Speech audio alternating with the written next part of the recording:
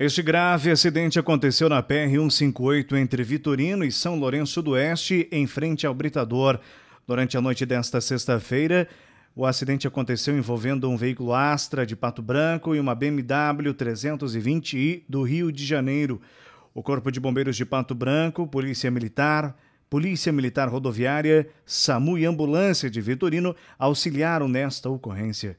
Infelizmente, a condutora do Astra acabou falecendo. Ela foi identificada como sendo Neuza Gubert, moradora de São Lourenço do Oeste. Os ocupantes do outro veículo foram encaminhados para atendimento médico na unidade de pronto atendimento de Pato Branco.